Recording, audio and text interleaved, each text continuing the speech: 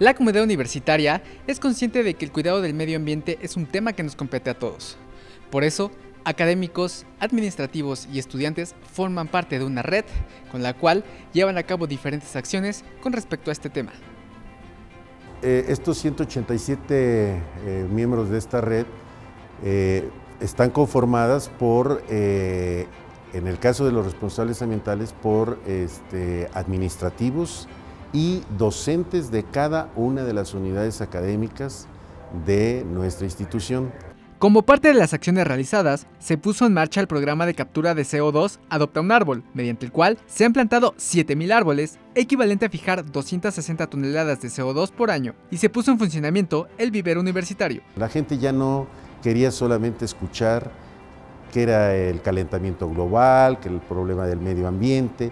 Ya la gente lo que pretendía o buscaba era tomar acciones, ¿sí? implementar cosas que le permitieran efectivamente en la vía de los hechos ver en realidad alguna acción que tuviera que ver con el medio ambiente y la sustentabilidad. Con relación al tema de la no generación de residuos, se realizaron acciones como el programa de becas alimentarias sin unicel, lo que permite dejar de utilizar dos toneladas de unicel por cuatrimestre. Que el Consejo Universitario aprobó la erradicación de plásticos de un solo uso en nuestra institución eh, por lo mismo, estamos ahora trabajando una serie de estrategias eh, aunados a distintas iniciativas desarrolladas por docentes y estudiantes de diferentes unidades académicas eh, para lograr erradicar el uso de más de 140 toneladas de piezas plásticas al año dentro de la institución. Además, se busca que la comunidad universitaria se mantenga actualizada en cuanto a estos temas para que sí cuenten con los conocimientos necesarios para emprender más acciones de gran impacto.